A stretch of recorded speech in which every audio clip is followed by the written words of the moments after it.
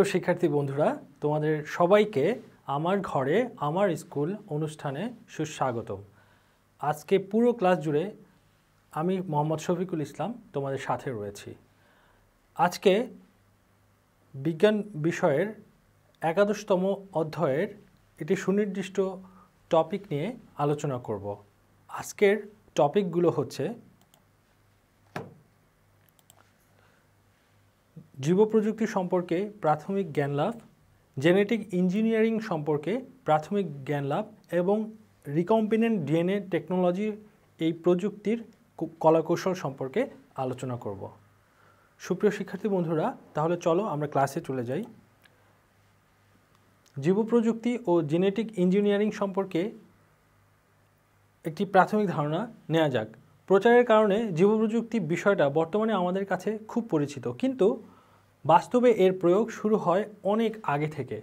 সভ্যতার বিকাশের ধারাবাহিকতায় মানুষ যখন যাযাবর জীবন ছেড়ে স্থায়ী জীবনযাপন শুরু করে, তখন থেকেই জীবপ্রযুক্তি উৎপত্তি হয়েছে। কারণ মানুষের কাছে তখনই অধিক ফলনশীল গাছপালা এবং শক্ত সমর্থ প্রাণীকুল গুরুত্ব পেয়েছে। পছন্দসই নির্বাচনের মধ্য দিয়ে মানুষ তখনই গাছপালা আর প্রাণী বেছে নিতে শুরু করে এবং শুরু হয় জীব প্রযুক্তির যাত্রা। অনেক আগে থেকে মানুষ অনুজীব বা ব্যাকটেরিয়া কাজে লাগিয়ে দই, মদ, বিয়ার, সিরকা, পাউরুটি এসব উৎপাদন করে এসেছে। এরপর থেকে বিভিন্ন অনুজীবের জৈবিক কর্মকাণ্ডকে কাজে লাগিয়ে শিল্পক্ষেত্রে এবং মানব কল্যাণে নতুন নতুন উৎপাদন পৃথিবীর জীব প্রযুক্তির ভাণ্ডারকে করেছে আরও সমৃদ্ধ। জীব প্রযুক্তির সাথে সম্পর্কযুক্ত গবেষণা জীববিজ্ঞানে নতুন নতুন দিক উন্মোচন করেছে। জীব প্রযুক্তির বিভিন্ন সময়ে বিভিন্নভাবে সংজ্ঞায়িত করা হয়েছে। কেউ বলেন মানব কল্যাণে প্রয়োগের জন্য জীবকে ব্যবহার করার বিভিন্ন উপাদান তৈরির প্রযুক্তিকে জীব প্রযুক্তি বলা হয়। আমেরিকার ন্যাশনাল সায়েন্স ফাউন্ডেশনের দেওয়া সংজ্ঞা অনুযায়ী জীব প্রযুক্তি বলতে বোঝায় মানব কল্যাণের উদ্দেশ্যে জীব প্রতিনিধিদের যেমন অণুজীব বা জীবকোষের কোষীয় উৎপাদনের নিয়ন্ত্রিত ব্যবহার, যদিও দই, সিরকা, পাউরুটি, মদ, পনির ইত্যাদি উৎপাদন জীব প্রযুক্তির ফসল কিন্তু এসব প্রযুক্তিকে পুরনো প্রযুক্তি বলে আখ্যায়িত করা হয়েছে। সম্প্রতি আণবিক জীববিজ্ঞানের গবেষণার মাধ্যমে জীবপ্রযুক্তির যে প্রসার ঘটেছে তাকে বলা হয় নতুন বা আধুনিক জীবপ্রযুক্তি। সুপ্রিয় শিক্ষার্থী বন্ধুরা, আমরা জানতে পারলাম জীবপ্রযুক্তির পথ চলা শুরু হয়েছে অনেক অনেক আগে থেকে। আমরা যে নতুন জীবপ্রযুক্তি বলতে আমরা যেটা বুঝি, গ্রেগর জোহান মেন্ডেল একশো পঞ্চাশ বছর আগে যে গবেষণা করেছিলেন, তার গবেষণার প্রতিপাদ্য বিষয় ছিল প্রতিটা মানুষের চারিত্রিক বৈশিষ্ট্য একজোড়া ফ্যাক্টর দিয়ে নিয়ন্ত্রিত হয়, যেটি পরবর্তীতে বেটসন জেনেটিক শব্দ ব্যবহার করে বুঝিয়েছেন। এবং এরপরে জোহানসেন উনিশশো নয় সালে বুঝিয়েছেন জিন শব্দ দিয়ে এবং পরবর্তীতে নিষেক ছাড়াই জিন এক জীবকোষ থেকে অন্য জীবকোষে স্থানান্তরের মাধ্যমে নতুন জীব প্রযুক্তির যে কলাকৌশল আবিষ্কার করেছিলেন সেই বিজ্ঞানীদের কল্যাণের পরবর্তী ধাপ হিসেবে জেনেটিক ইঞ্জিনিয়ারিং আজকের এই উত্তরোত্তর উন্নতি লাভ করেছে। অর্থাৎ আধুনিক যে জেনেটিক ইঞ্জিনিয়ারিং বা জীব প্রযুক্তি, সেটা শুরু হয়েছে একশো পঞ্চাশ বছর আগের গ্রেগন জোহান মেন্ডেলের হাত ধরেই। সুপ্রিয় শিক্ষার্থী বন্ধুরা, বাস্তবিক অর্থে আধুনিক জীব প্রযুক্তির তিনটি বিষয়ের সমন্বয় বলা যেতে পারে। এক হচ্ছে অণুজীব বিজ্ঞান, টিস্যু কালচার, জিন প্রকৌশল। সুপ্রিয় শিক্ষার্থী বন্ধুরা জেনেটিক ইঞ্জিনিয়ারিং জিন শব্দের সাথে যুক্ত। জেনেটিক ইঞ্জিনিয়ারিং বা জিন প্রকৌশলের মাধ্যমে আমরা আমাদের কাঙ্ক্ষিত জিন বিশিষ্ট প্রাণী তৈরি করতে সক্ষম হয়েছি। এই কলাকৌশল বা এই পদ্ধতি জেনেটিক ইঞ্জিনিয়ারিং বা জিন প্রকৌশলের মধ্যে বিস্তারিতভাবে জানা যায়। সুপ্রিয় শিক্ষার্থী বন্ধুরা, এখন আমরা জেনেটিক ইঞ্জিনিয়ারিং সম্পর্কে জানব। জীব প্রযুক্তিরই আরেকটি সমন্বিত অংশ হচ্ছে জেনেটিক ইঞ্জিনিয়ারিং। জেনেটিক ইঞ্জিনিয়ারিং সম্পর্কে জানার জন্য তোমাদেরকে অবশ্যই একটি ব্যাকটেরিয়া সম্পর্কে না জানলেই নয়। সুপ্রিয় শিক্ষার্থী বন্ধুরা, সেই ব্যাকটেরিয়াটির নাম কি জানো তোমরা? সেই ব্যাকটেরিয়াটি হচ্ছে ই কলাই এই ই কলাই ব্যাকটেরিয়া কোথায় থাকে? এই ইকলাই ব্যাকটেরিয়াটা থাকে মানুষের অন্ত্রে, অর্থাৎ মানুষের অন্ত্র, ক্ষুদ্রান্ত্র এবং বৃহদান্ত্র। এই ইকলাই ব্যাকটেরিয়াটা মানুষের ক্ষুদ্রান্ত্রে থাকে। ব্যাকটেরিয়া বলতেই কিন্তু আমরা খারাপ কিছু বুঝব না। ব্যাকটেরিয়া অপকারী ব্যাকটেরিয়া আছে যেমন, উপকারী ব্যাকটেরিয়াও আছে সেরকম।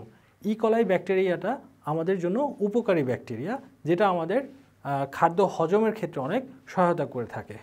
সুপ্রিয় শিক্ষার্থী বন্ধুরা, এই ইকলাই ব্যাকটেরিয়া কেন এত গুরুত্বপূর্ণ সেই সম্পর্কে তোমাদের একটু ধারণা দিই।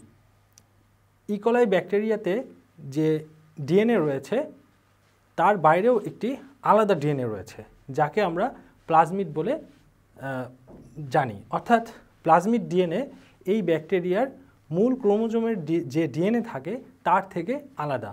এই ইউনিক বৈশিষ্ট্যটা থাকার জন্য আমরা এই ইকলাই ব্যাকটেরিয়াটাকে জেনেটিক ইঞ্জিনিয়ারিংয়ের একটি অংশ হিসাবে ধরে থাকি।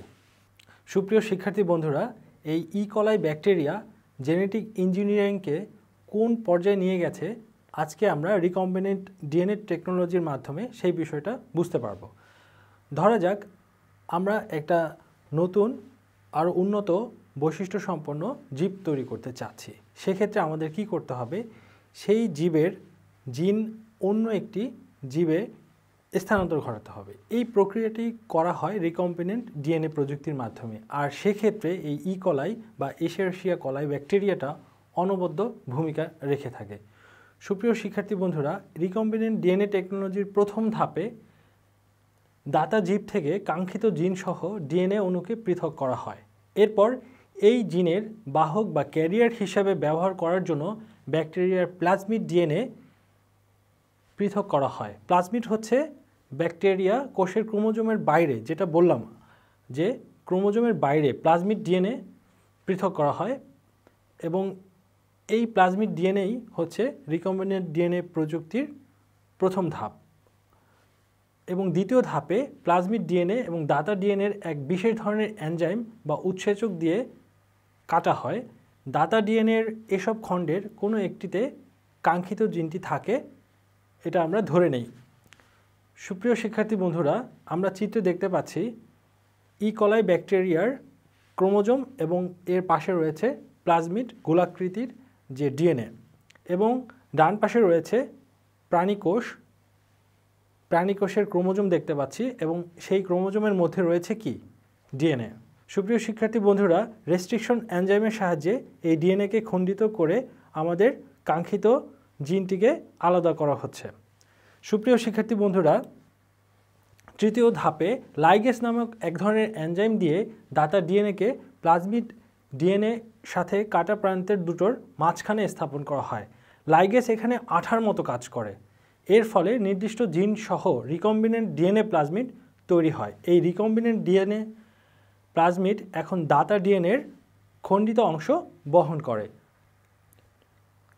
এখানে রিকম্বিনেন্ট ডিএনএ টেকনোলজির মূল কাজটি হয়ে যাচ্ছে। অর্থাৎ আমরা সেই কাঙ্ক্ষিত জিন বহনকারী ইকলাই ব্যাকটেরিয়ার ডিএনএকে পাচ্ছি। অর্থাৎ ইকলাই ব্যাকটেরিয়ার ডিএনএর মধ্যে আমার কাঙ্ক্ষিত যে জিনটি রয়েছে, সেটি আমরা লাইগেস এনজাইম দিয়ে সুন্দরভাবে লাগিয়ে দিয়েছি। পরবর্তী ধাপে সুপ্রিয় শিক্ষার্থী বন্ধুরা, এই রিকম্বিনেন্ট প্লাজমিড ব্যাকটেরিয়া ভিতরে প্রবেশ করানো হয়। অর্থাৎ এই প্লাজমিডকে ব্যাকটেরিয়ার ভিতরে আবার ঢুকানো হয়। খণ্ডিত ডিএনএ গ্রাহক কোষে প্রবেশ করানোর পদ্ধতিকে ট্রান্সফরমেশন বলে। আমি আবার বলছি ট্রান্সফরমেশন হচ্ছে খণ্ডিত ডিএনএ গ্রাহক কোষে প্রবেশ করানোর পদ্ধতি। ট্রান্সফরমেশনের ফলে নতুন জিন নিয়ে যে ব্যাকটেরিয়া বা জীবের উদ্ভব ঘটে, তাকে ট্রান্সজেনিক জীব বলা হয়। আমরা চিত্রে দেখতে পাচ্ছি, রিকম্বিনেন্ট ডিএনএ টেকনোলজির এই ধাপটিতে প্লাজমিড ডিএনএকে আবার ই কলাই ব্যাকটেরিয়াতে প্রবেশ করানো হয়েছে। সুপ্রিয় শিক্ষার্থী বন্ধুরা, এরপর নির্দিষ্ট জিন বহনকারী রিকম্বিনেন্ট প্লাজমিড ধারণ করা ব্যাকটেরিয়াকে শনাক্ত করে আলাদা করা হয়। এরপর নির্দিষ্ট জিন বহনকারী ব্যাকটেরিয়াগুলোর ব্যাপক বংশবৃদ্ধি ঘটানো হয়। এই ব্যাকটেরিয়াগুলো গুলোর প্রত্যেকটিতে এখন একটি করে কাঙ্ক্ষিত জিন রয়ে রয়েছে। এই পদ্ধতিতে জিন তৈরি করাকে বলা হয় জিন ক্লোনিং। জিনকে ব্যবহার করার জন্য প্লাজমিডকে আবার আলাদা করে নেওয়া হয়।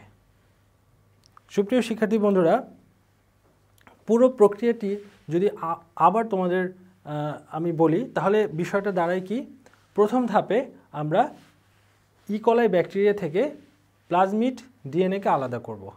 প্লাজমিড যে ডিএনএ সেটা হচ্ছে ক্রোমোজোমের বাইরের যে ডিএনএ সেই ডিএনএকে আলাদা করব এবং প্রাণী কোষের ডিএনএকে আলাদা করব।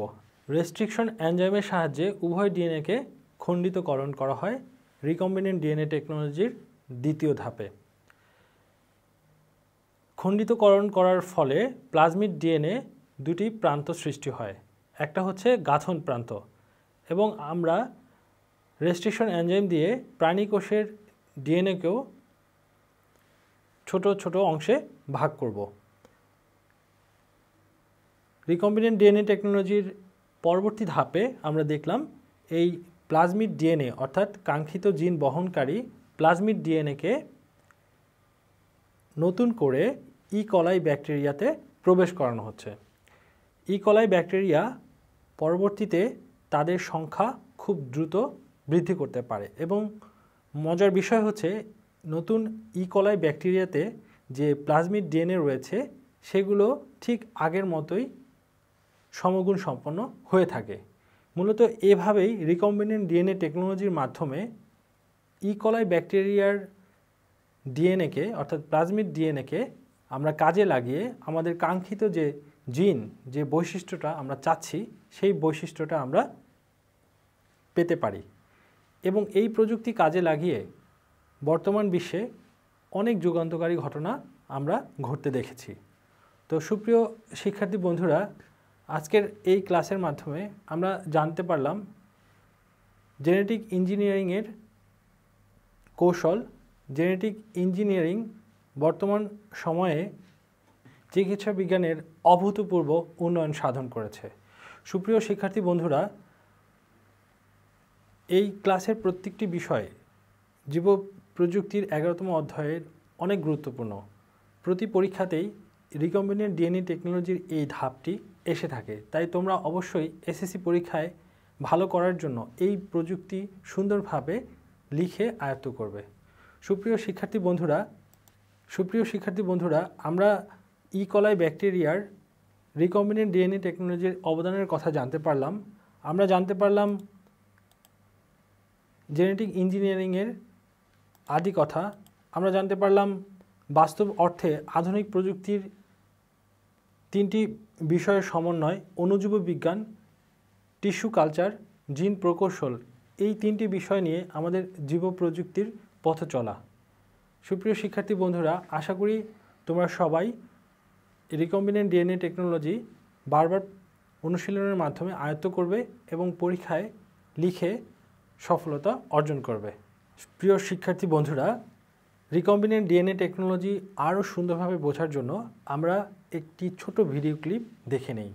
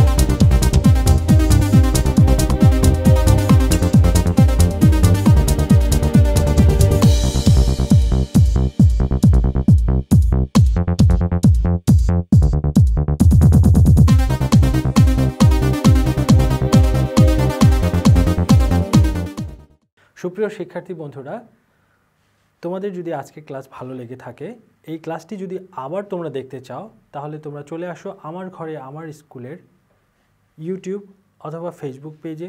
আমাদের কিশোর বাতায়নেও এই ক্লাসটি আপলোড করা হয়ে থাকে এবং অবশ্যই আমাদের ক্লাস সম্পর্কে তোমাদের সুচিন্তিত মতামত ইমেল করে জানাতে ভুলো না যেন।